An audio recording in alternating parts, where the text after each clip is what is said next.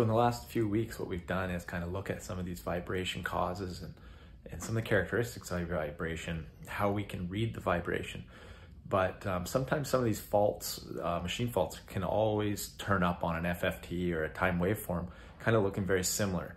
So um, there's one more step that we can do, an investigative step, that, which is uh, called phase analysis. And so uh, this week, what I wanted to ask Paul was just to talk a little bit about phase analysis, how we can use it to further investigate some of these machine faults and, uh, and diagnose what's going on with the machine. So basically, phase in vibration is a tool that we use to confirm certain faults. So for instance, as you know, in vibration, a lot of faults happen at one times turning speed. Imbalance happens at one times turning speed. Misalignment happens at one times turning speed. Also, looseness can happen at one times turning speed. Uh, bent shaft, one times turning speed. So there's many, many faults that all happen at one times turning speed. So how do we differentiate or tell which one is which? Because they all look exactly the same on the spectrum. So the way that we do this is we use phase.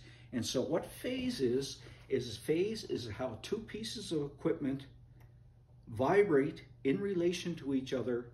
And then what we do is we freeze them at an instance in time. And then what we do is we measure the phase angle between, let's say this is the motor, and over here is the gearbox. And what we'll do is we'll measure the phase angle between the two pieces and these phase angles will tell us what fault there is. So for instance, imbalance, the phase would be a steady phase, and if you move the sensor from vertical or from vertical to horizontal like this, then you would have a 90 degrees phase shift. So you would move, so if you had your piece like this, you have your sensor up here in the top. So whatever your phase reading is here, and you move it 90 degrees, that phase angle will change by 90 degrees. If it stays steady, then it's imbalance. Misalignment happens at a phase of 180 degrees. So misalignment would still happen at one times, like imbalance, but they show at different phases. Looseness, again, would show at a different phase. So what we do is we use phase to confirm a fault. So we can have phase where we have two pieces of equipment, freeze them, measure the phase angle by the between the two, that'll tell us something. Or we can have phase against a fixed point. So when you guys do balancing, and you have your little light on for here balancing, then what we're doing is we're taking the phase, so the heavy spot here happens at a certain part on the roll, at a certain phase angle, and then so what we're doing is we're measuring the phase against a fixed point. So this fixed point would be our little light, our, trans, our photo eye, and then what we do is we measure the angle and phase opposite of rotation. So if the roll is turning, we're going to balance this piece of equipment, it's turning in the clockwise direction, then we measure the phase opposite.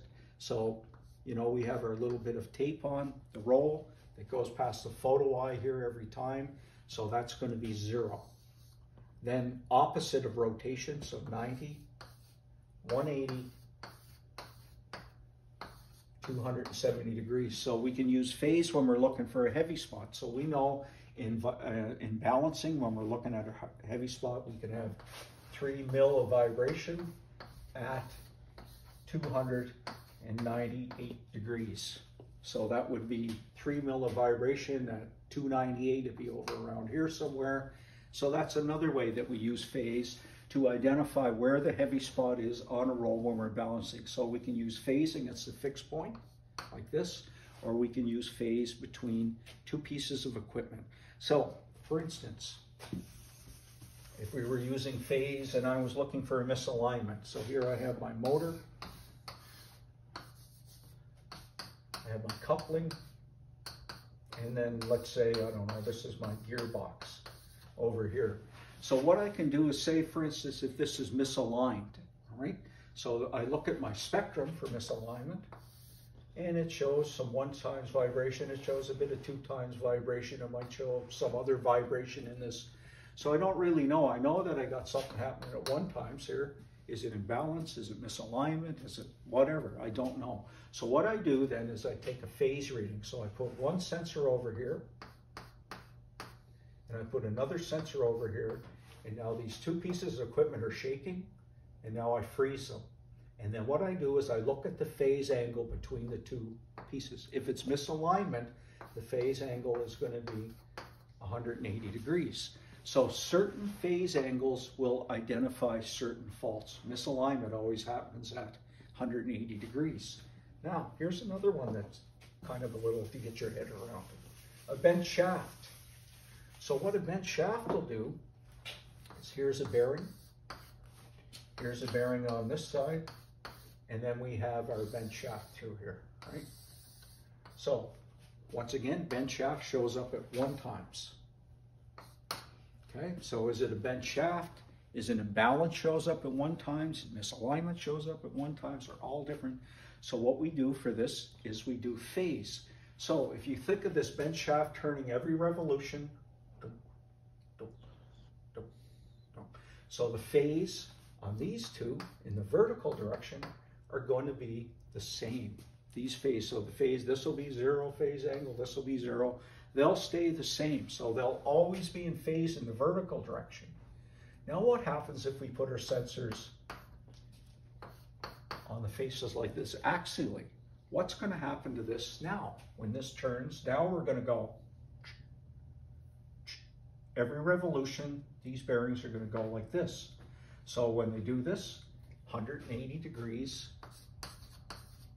in the axial direction, zero in the vertical direction. So phase dependent on if you're taking it axially, if you're taking it vertically, can be show you different angles. So with a bent shaft, the phase and the horizontal or the vertical direction is going to be the same, going to stay steady. But when we do the phase here on the axial, it's going to be 180 degrees apart. So we're using phase again to confirm that we have a bent shaft. Another thing with phase that we have to do is that when we do phase, the sensors are in the same direction. So when we're talking about phase, so in this case here, when I have a sensor on this side, and now I got to take the sensor and move it over to this side to take a reading, what I have to do is correct for the angle that I'm changing. The sensors are supposed to be pointing in the same direction to phase. So whatever angle I have on this side, doesn't matter if it was 90 degree angle, then what I have to do is add 180 degrees onto this number. So now the sensors, we've corrected the sensors and now they're pointing in the same direction.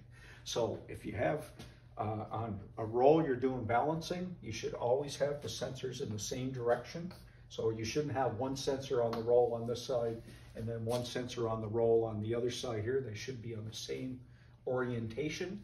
But sometimes when we're doing an axial reading, we can't do that. We have to put the sensor on in the opposite direction. So then one of these angles, we have to correct for moving that sensor across like that.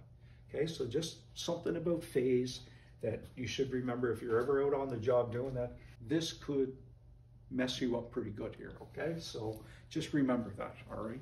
That's how we use phase. Basically, we're using phase to balance so we're against a fixed point to find the heavy spot, or we're using phase to confirm some kind of a fault. So different faults happen at different phases. They all happen at the same one times per revolution. A lot of faults are the same, so that's how we differentiate between all those faults that happen at one times is that the phase angles on these all these faults are different. So basically we use phase to confirm a diagnosis a lot of times. Also we could use phase to look at how something, how much, for instance, we could look at the vibration of a pedestal for a motor or something like this. So we could look at, put a sensor up here, put a sensor down here, put a sensor in the middle, and of course, as this thing rocks back and forth, it's going to be more movement on the top, greater angle than on the bottom. So we can use phase for those type of situations. There's many, many different things we can use it for. I don't want to get too in depth because you folks are just starting out. So just for your purposes, we use phase to confirm faults. And then of course, when you look at a drawing, what we'll have is I'll show you the motor, like so, once again. And then what there'll be these little dots like this.